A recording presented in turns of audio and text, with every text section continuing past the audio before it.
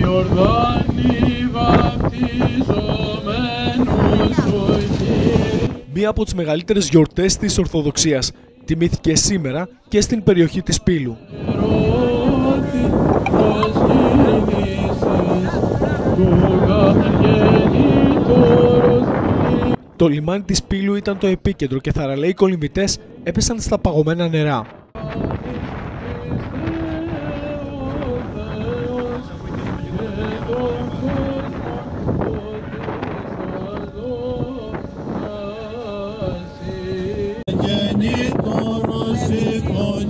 Σηκώνει προς εμαρτυρήσεις αγαπητόν σε Υιόν ονομάζουσα με το πνεύμα ενήλου. Με ιδιαίτερη λαμπρότητα εορτάστηκαν και φέτος τα Άγια Θεοφάνεια στη Μαραθόπολη.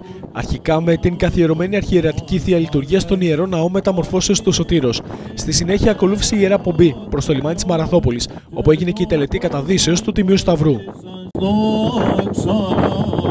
Bye.